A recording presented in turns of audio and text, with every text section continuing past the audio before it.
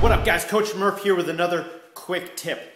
Band pull aparts. We have a video for it on the channel here. Look it up, know how to do those. Those are so important to building a lot of strength in your back, working on your posture, building up your shoulders. They're very easy to do. You can buy a band for you know anywhere between five and ten dollars, and you can do them anywhere.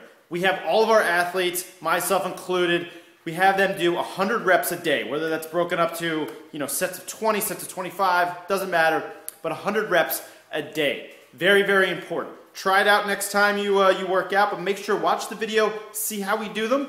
Any questions, let us know. But there's your quick tip. We'll see you guys soon with another one.